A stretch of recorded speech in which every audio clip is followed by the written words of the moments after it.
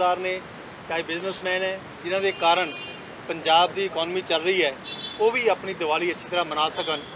ਇਸ ਲਈ ਇਹ ਟਾਈਮ ਜਿਹੜਾ ਹੈ, ਕਿਸਾਨਾਂ ਦਾ, ਉਹ ਧਰਨੇ ਤੇ ਬੈਠਣ ਦਾ ਨਹੀਂ ਹੈ। ਕਿਰਪਾ ਕਰਕੇ ਉਹਨਾਂ ਦੀਆਂ ਮੰਗਾਂ ਨੂੰ ਮੰਨਦੇ ਹੋਏ ਪੈੜੀ ਪੰਜਾਬ ਸਰਕਾਰ ਉਠਾ ਕੇ ਜਿਹੜੀ ਹੈ, ਉਹਨਾਂ ਨੂੰ ਰਾਹਤ ਦੇਵੇ ਔਰ ਉਹ ਧਰਨੇ ਦੀ ਬਜਾਏ ਆਪਣੀ ਮੰਡੀ ਜਾ ਕੇ ਪੈੜੀ ਵੇਚ ਕੇ ਆਪਣੇ ਬੱਚਿਆਂ ਦੇ ਨਾਲ ਜਿਹੜੀ ਹੈ, ਉਹ ਸ਼ਾਪਿੰਗ ਕਰ ਸਕਣ।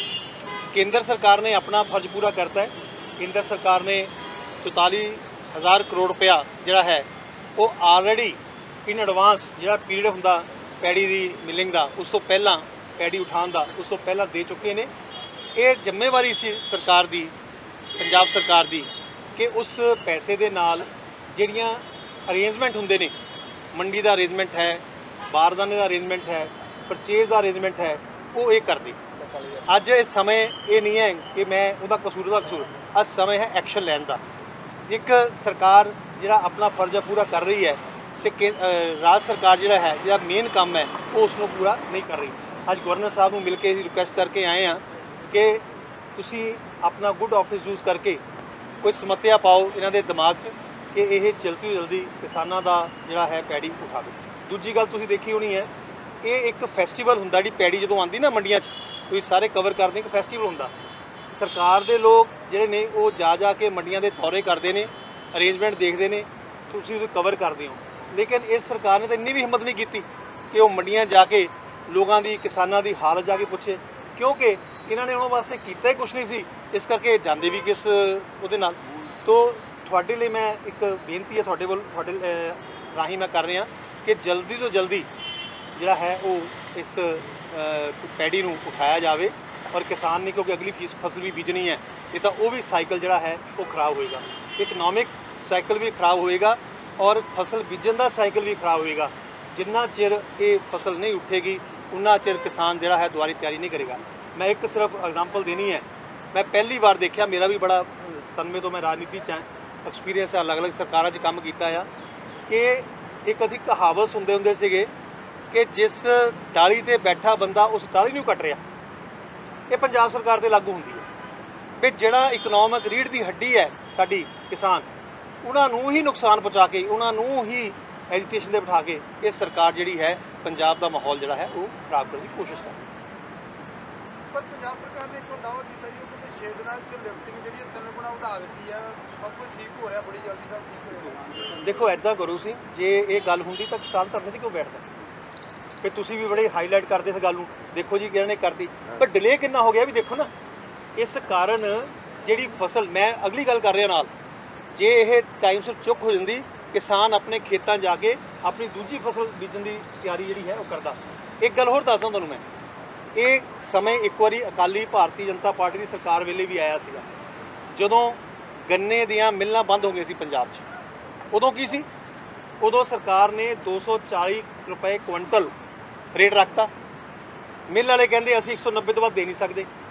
ਕਿਸਾਨ ਕਹਿੰਦਾ ਅਸੀਂ 240 ਤੋਂ ਘੱਟ ਖਰੀਦਣਾ ਨਹੀਂ। ਉਹਦੇ ਵਿੱਚ ਸਰਕਾਰ ਨੇ ਵਾਇਆ ਮੀਡੀਆ ਕੱਢਿਆ ਸੀ ਵੀ ਤੁਸੀਂ 190 ਦਿਓ 50 ਰੁਪਏ ਕੁਇੰਟਲ ਸਰਕਾਰ ਦੇਗੀ ਸਰਕਾਰਾਂ ਹੁੰਦੀਆਂ ਕਾਹਦੇ ਵਾਸਤੇ? ਤਕਲੀਫ ਦੇਣ ਵਾਸਤੇ ਹੁੰਦੀਆਂ ਜਾਂ ਲੋਕਾਂ ਦੀ ਤਕਲੀਫ ਹੱਲ ਕਰਨ ਵਾਸਤੇ ਹੁੰਦੀਆਂ?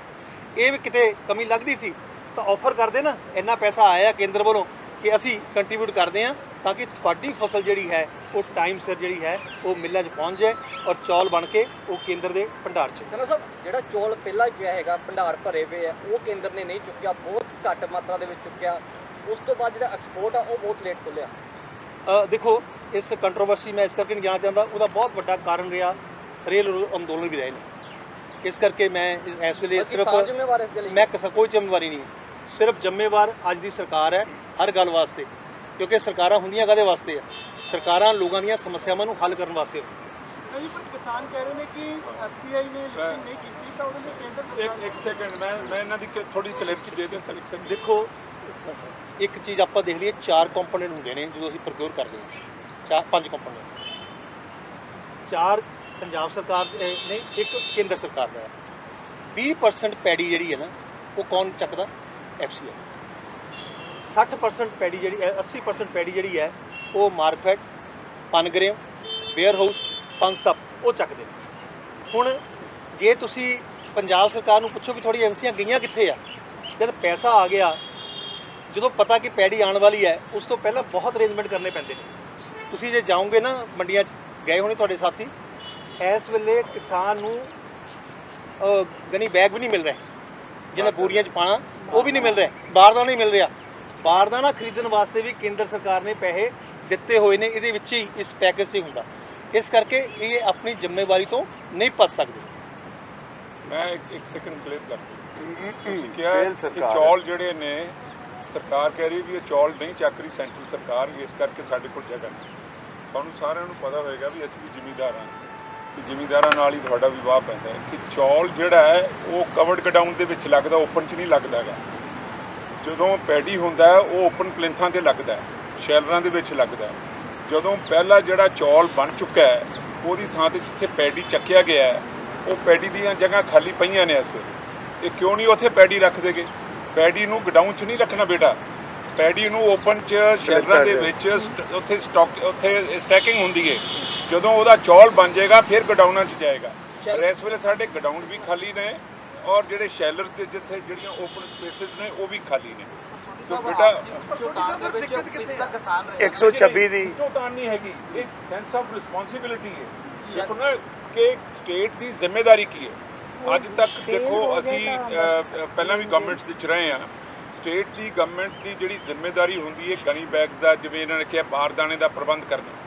ਕੰਟਰੈਕਟਰਸ ਦਾ ਪ੍ਰਬੰਧ ਕਰਨਾ ਠੇਕੇ ਦੇਣੇ ਟੈਂਡਰ ਦੇਣੇ ਕੌਣ ਸਟੇਟ ਗਵਰਨਮੈਂਟ ਕਰਦੀ ਕਿ ਸੈਂਟਰ ਗਵਰਨਮੈਂਟ ਕਰਦੀ ਮੰਡੀਆਂ ਸਾਫ਼ ਕਰਨੀਆਂ ਮੰਡੀਆਂ ਸਾਫ਼ ਕਰਨੀਆਂ ਮੰਡੀਆਂ ਦੇ ਵਿੱਚ ਜਾ ਕੇ ਪ੍ਰੋਵੀਜ਼ਨ ਦੇਣੇ ਜਗ੍ਹਾ ਬਣਾਉਣੀ ਉਸ ਉਹ ਸਾਰੀ ਜਗ੍ਹਾ ਜਿਹੜੀ ਹੈ ਇਹ ਸਟੇਟ ਗਵਰਨਮੈਂਟ ਦੀ ਜ਼ਿੰਮੇਵਾਰੀ ਹੈ ਕੰਟਰੈਕਟ ਦੇ ਵਿੱਚ ਹੈ ਥੋੜੀ ਜਿਹਾ ਸ਼ੈਲਰ ਮਾਲਕ ਇਹੀ ਭਰੋਸਾ ਮੰਗ ਰਹੇ ਕਿ ਜਿਹੜਾ ਸਾਡਾ ਚੋਲ ਹੈ ਮਿਲਿੰਗ ਹੋਇਆ ਉਹ ਚੱਕਿਆ ਜਾਊਗਾ ਤੇ ਪੰਜਾਬ ਸਰਕਾਰ ਕਹਿੰਦੀ ਮੇਰੇ ਮੇਰੇ ਮੇਰੇ ਵੀਰ ਭਗਵੰਤ ਇਸ ਮਾਨ ਵੇਲੇ ਫਿਰ ਪਹਿਲਾਂ ਚੁਕਾਏ ਝੋਨਾ ਨਾ। ਚੱਕੋ ਜਿਹੜਾ ਉਹਨਾਂ ਦਾ ਜਿਹੜੇ 126 ਜਿਹੜਾ- ਪਾਇਆ। ਜਿਹੜਾ ਉਹਨਾਂ ਦਾ ਚੌਲ ਬਣਿਆ ਉਹ ਤਾਂ ਗਡਾਊਨਾਂ ਦੇ ਵਿੱਚ ਪਿਆ ਹੈ। ਚਲੋ ਮੈਂ ਇੱਕ ਗੱਲ ਸਮਝੋ। ਛੋਟੀ ਜਿਹੀ ਗੱਲ ਇੱਕ ਮਿੰਟ ਇੱਕ ਮਿੰਟ ਹੋਇਆ ਇੱਕ ਮਿੰਟ ਇੱਕ ਮਿੰਟ ਇੱਕ ਮਿੰਟ। ਜਗ੍ਹਾ ਵੀ ਹੈਗੀ ਹੈ ਤੁਸੀਂ ਕਹਿੰਦੇ ਹੋ ਚੌਲ ਸੋਰੀ ਝੋਨਾ ਲਾਉਣ ਦੇ ਲਈ ਪੈਸੇ ਵੀ ਆ ਗਏ।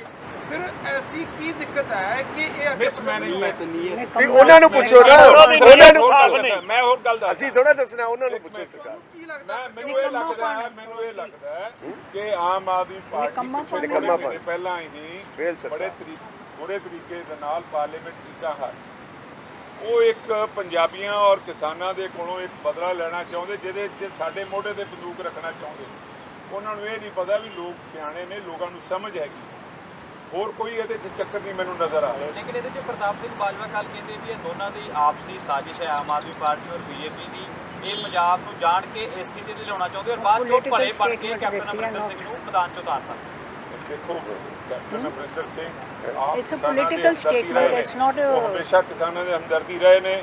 ਜਦੋਂ ਚੀਫ ਮਿਨਿਸਟਰ ਸੀਗੇ ਇੱਕ ਵੀ ਕ੍ਰੌਪ ਵੇਲੇ ਮੈਨੂੰ ਦੱਸ ਦਿਓ ਜੇ ਕਿਤੇ ਇਹੋ ਜਿਹਾ ਹਲਚਲ ਮਚਿਆ ਹੋ ਸੋ ਉਹ ਉਸ ਜਾਓ ਤਰ੍ਹਾਂ ਉਹ ਇਸ ਕਰਕੇ। ਮੰਡੀ ਜਾ ਕੇ ਦੇਖਣ ਗਏ ਸੀ। ਫਰਸਟ ਹੈਂਡ ਇਨਫੋਰਮੇਸ਼ਨ ਲੈਣ ਗਏ ਸੀ ਕੈਪਟਨ ਸਾਹਿਬ ਕਿ ਸਾਨੂੰ ਉਹਦਾ ਕੀ ਜਾਇਜ਼ਾ ਲੈਣਾ ਚਾਹੀਦਾ ਕੀ ਗੱਲ ਕਰਨੀ ਚਾਹੀਦੀ। ਲੇਕਿਨ ਇਹ ਸਾਫ਼ ਤੌਰ ਤੇ ਇਹ ਹੈਗਾ ਕਿ mismanagement inexperience of the present government and total failure of the present government is at this moment. Intention also ਬਿਲਕੁਲ Intention. An intention to blame the thank you ਧੰਨਵਾਦ ਧੰਨਵਾਦ ਇੱਕ ਮਿੰਟ ਮੈਂ ਜਦ ਤੁਸੀਂ ਗੱਲ ਕਹੀ ਹੈ ਨਾ ਮੈਂ ਛੋਟੀ ਜਿਹੀ ਕਲਿੰਚ ਕਰਨ ਲੱਗਾ ਗੱਲ ਕੱਲ ਇੱਕ ਡਰਾਮਾ ਕੀਤਾ ਇਹਨਾਂ ਨੇ ਮਾਨ ਸਾਹਿਬ ਨੇ ਆਪਣੀ ਸਾਰੀ ਟੀਮ ਲੈ ਕੇ ਚਲੇ ਗਏ ਕਿਉਂ ਗਏ ਨੱਡਾ ਸਾਹਿਬ ਕੋਲ ਕਿ ਡੀਏਪੀ ਦੇ ਦਿਓ ਜਾਂਦੇ ਨਾ ਫੂਡ ਮਿਨਿਸਟਰ ਕੋ ਉਹ ਕੋ ਕਿਉਂ ਨਹੀਂ ਗਏ ਉਹਨਾਂ ਨੇ ਚਿੱਠੀ ਰੱਖ ਦੇਣੀ ਸੀ ਆ ਦੇਖੋ ਤੁਹਾਨੂੰ ਚਿੱਤ- ਹੈ ਇੰਨੇ ਪੈਸੇ ਭੇਜ ਸੀ ਉਹ ਕਿੱਥੇ ਖਰਚੇ ਆ? ਉਹ ਡਰਦੇ ਮਾਰੇ ਉੱਥੇ ਨਹੀਂ ਗਏ ਵੀ ਮੈਨੂੰ ਐਕਸਪਲੇਨੇਸ਼ਨ ਕੀ ਦਊਂਗਾ ਮੈਂ। ਇਹ ਉਹਨਾਂ ਦੀ ਨੀਅਤ ਥੈਂਕ ਯੂ ਬਚ- ਬਚਣਾ ਚਾਹੁੰਦੇ ਨੇ। ਆਇਓ ਇੱਕ ਮਿੰਟ। ਆਇਓ। ਮੈਡਮ ਕੇਂਦਰ ਸਰਕਾਰ ਕਿਸਾਨਾਂ ਦੇ ਪੈਸੇ ਨੂੰ ਭੇਜ ਚੁੱਕੀ ਹੈ। ਇਹ ਵੀ ਕਹਿੰਦੇ ਹੋਏ ਬੀਜੇਪੀ ਆਗੂ ਨਜ਼ਰ ਆਏ ਨੇ ਤੇ ਦੀਵਾਲੀ ਮੌਕੇ ਕਿਸਾਨ ਧਰਨਾ ਕਿਉਂ ਦੇਣ? ਹੱਲ ਹੋਣੀ ਚਾਹੀਦੀ ਹੈ ਸਮੱਸਿਆ। ਬੀਜੇਪੀ ਦਾ ਕਹਿਣਾ ਹੈ, ਝੋਨੇ ਦੇ ਸੀਜ਼ਨ ਲਈ ਸਰਕਾਰ ਨੇ ਕੁਝ ਨਹੀਂ ਕੀਤਾ ਤਾਂ ਉੱਥੇ ਹੀ ਆਮ ਆਦਮੀ ਪਾਰਟੀ ਤੇ ਨਿਸ਼ਾਨੇ ਵਿੰਨਦੀ ਹੋਈ ਇੱਥੇ ਬੀਜੇਪੀ ਨਜ਼ਰ ਆਈ ਹੈ। ਯੂਨੀਅਨ ਆਫ ਦੀ ਸਟੇਟ ਉਹ ਸਟੇਟ ਦੇ ਉਹਨਾਂ ਦੀਆਂ ਉਹਨਾਂ ਦੀ ਜ਼ਿੰਮੇਵਾਰੀ ਹੈਗੀ ਕਿ ਸਟੇਟ ਦੇ ਵਿੱਚ ਜੇ ਕੋਈ ਅਨਹੋਣੀ ਚੀਜ਼ ਹੋ ਰਹੀ ਹੈ, ਜਿਹਦੇ 'ਚ ਲੋਕਾਂ ਨੂੰ ਤਕਲੀਫਾਂ ਹੋ ਰਹੀਆਂ ਨੇ, ਆਮ ਜਨਤਾ ਤਕਲੀਫ ਹੋ ਰਹੀ ਹੈ, ਅੱਜ ਕਿਸਾਨ ਭਰਾ ਧਰਨੇ ਤੇ ਬੈਠੇ ਨੇ, ਉਹਨਾਂ ਦੀਆਂ ਆਪਣੀਆਂ ਮਜਬੂਰੀਆਂ ਨੇ, ਜਿਹੜੇ ਲੋਕ ਟਰੈਵਲ ਕਰ ਰਹੇ ਨੇ, ਉਹਨਾਂ ਦੀਆਂ ਆਪਣੀਆਂ ਮਜਬੂਰੀਆਂ ਨੇ, ਅੱਜ ਸਾਰੇ ਪੰਜਾਬ ਦੇ ਲੋਕ ਜਿਹੜੇ ਨੇ, ਉਹ ਪਰੇਸ਼ਾਨ ਨੇ। ਸੋ ਅਸੀਂ ਉਹਨਾਂ ਨੂੰ ਕਿਹਾ ਜੀ ਕਿ ਤੁਸੀਂ ਮੌਜੂਦਾ ਸਰਕਾਰ ਨੂੰ ਬੁਲਾ ਕੇ ਇਹਨਾਂ ਨੂੰ ਸਮਨ ਕਰੋ ਔਰ ਇਹਨਾਂ ਦੇ ਕੋਲੋਂ ਪੁੱਛੋ ਵੀ ਇਹ ਕਿਉਂ ਨਹੀਂ ਲਿਫਟਿੰਗ ਕਰ ਪਰ ਰਹੇ? ਉਹ ਸਿੱਧੇ ਤੌਰ ਤੇ ਕਈ ਇਲਜ਼ਾਮ ਕੇਂਦਰ ਉੱਪਰ ਲਗਾ ਰਹੇ ਜੋ ਸ਼ੈਲਰ ਮਾਲਕਾਂ ਦੀ ਸਮੱਸਿਆ ਦਾ ਜ਼ਿਕਰ ਕਰ ਰਹੇ ਆ। ਸ਼ੈਲਰ ਮਾਲਕ ਸਰਕਾਰ ਨੂੰ ਕੀ ਕਹਿ ਰਹੇ ਕਿ ਸਾਨੂੰ ਇੰਸ਼ੋਰੈਂਸ ਦੇ ਦਿਓ ਕਿ ਅਸੀਂ ਪੁਰਾਣਾ ਝੋਨਾ ਰਖਾ ਜਿਹੜਾ ਨਵਾਂ ਝੋਨਾ ਆ ਰਿਹਾ ਰਖਵਾ ਲਾਂਗੇ ਜਿਹੜਾ ਚਾਵਲ ਆ ਸਾਡਾ ਉਹ ਚੱਕਿਆ ਜਾਊਗਾ ਕਿਉਂਕਿ ਪਹਿਲਾਂ ਚੱਕਿਆ ਹੀ ਨਹੀਂ ਗਿਆ। ਇੱਕ ਮਿੰਟ ਗੱਲ ਸੁਣ। ਦੇਖੋ ਜਰਾ ਕਿ ਜਿਹੜੀ ਰਾਈਸ ਦੀ ਪਾਲਿਸੀ ਹੈ ਮਿਲਿੰਗ ਪਾਲਿਸੀ ਉਹਨੂੰ ਕਹਿੰਦੇ ਨੇ ਮਿਲਿੰਗ ਪਾਲਿਸੀ ਉਹ ਸਟੇਟ ਬਣਾਉਂਦੀ ਹੈ ਮਿਲਿੰਗ ਪਾਲਿਸੀ ਇਹਨਾਂ ਨੇ ਲੇਟ ਬਣਾਈ। ਠੀਕ ਹੈ ਉਹਦੇ ਚ ਕਲੈਰਿਟੀ ਨਹੀਂ ਹੈਗੀ। ਇਹਨਾਂ ਨੇ ਕਹਿਤਾ ਵੀ 126 ਜਿਹੜਾ ਝੋਨਾ ਹੈ, ਉਹ ਲਗਾਓ।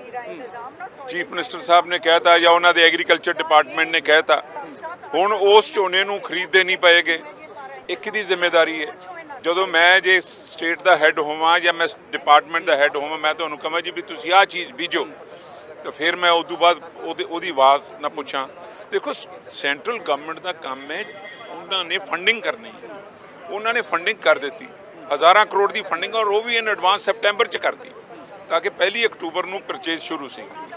ਲੇਕਿਨ ਹੁਣ ਇਹਨਾਂ ਨੇ ਜਿਹੜੀ ਪਰਚੇਜ਼ ਕਰਨੀ ਹੈ, ਅੱਗੇ ਟੈਂਡਰਸ ਦੇਣੇ ਨੇ, ਗਨੀ ਬੈਗਸ ਲਿਆਉਣੇ ਨੇ ਬਾਰਦਾਨਾ ਆਉਣਾ ਹੈ, ਉਹਦੀ ਭਰਾਈ ਹੋਣੀ ਹੈ, ਉਹਦੀ ਚਕਵਾਈ ਹੋਣੀ ਹੈ ਉਹਦੀ ਸਟੈਕਿੰਗ ਹੋਣੀ ਹੈ ਤਾਂ ਸਾਰਾ ਸਟੇਟ ਗਵਰਨਮੈਂਟ ਦਾ ਕੰਮ ਬਹੁਤ ਸਾਰੀ ਚੀਜ਼ਾਂ ਸਟੇਟ ਗਵਰਨਮੈਂਟ ਦੇ ਉੱਪਰ ਆ ਪਰ ਕੁਝ ਚੀਜ਼ਾਂ ਸੈਂਟਰ ਗਵਰਨਮੈਂਟ ਦੇ ਨਾਲ ਵੀ ਰਿਲੇਟਡ ਹੈਗੀ ਹੈ ਜਿਵੇਂ ਮੈਂ ਮੰਡੀਆਂ 'ਚ ਗਿਆ ਕਿਸਾਨਾਂ ਨਾਲ ਗੱਲਬਾਤ ਕੀਤੀ ਜਗ੍ਹਾ ਜਗ੍ਹਾ ਗਿਆ ਜੋ ਸਮੱਸਿਆ ਮੋਟੀ-ਮੋਟੀ ਹੈ ਜੋ ਮੰਡੀਆਂ ਦੇ ਵਿੱਚ ਇਸ ਵਕਤ ਭੰਡਾਰ ਭਰੇ ਪਏ ਆ ਉਹ ਕਹਿੰਦੇ ਕੇਂਦਰ ਦੀ ਸਮੱਸਿਆ ਹੈਗੀ ਉਹਦਾ ਉਹਦਾ ਕਾਰਨ ਸੁਣੋ ਸੁਣੋ ਸਾਹਿਬ ਉਹ ਕਾਰਨ ਜੋ ਕਿਸਾਨ ਲੀਡਰ ਕਹਿੰਦੇ ਹੈਗੇ ਆ ਸ਼ੈਲਰ ਮਾਲਕ ਕਹਿੰਦੇ ਆ ਕਿ ਜੁਆਇੰਟ ਉਹ ਹੁੰਦਾ ਹੁੰਦਾ ਸਮਝ- ਉਹ ਐਗਰੀਮੈਂਟ ਹੁੰਦੇ ਹੁੰਦੇ ਆ ਉਸ ਦੇ ਤਹਿਤ ਹੁਣ ਤੱਕ ਇਹ ਜਿਹੜਾ ਝੋਨਾ ਪਿਆ ਆਪਾਂ ਕੀ ਚਾਵਲ ਬਣਿਆ ਪਿਆ ਹੈਗਾ ਉਹ ਚੱਕਿਆ ਜਾਣਾ ਚਾਹੀਦਾ ਸੀ ਟ੍ਰੇਨਾਂ ਦੇ ਰਾਹੀਂ ਉਹ ਜਾਂਦਾ ਹੈਗਾ ਉਹ ਨਹੀਂ ਗਿਆ ਇਸ ਵਾਰ।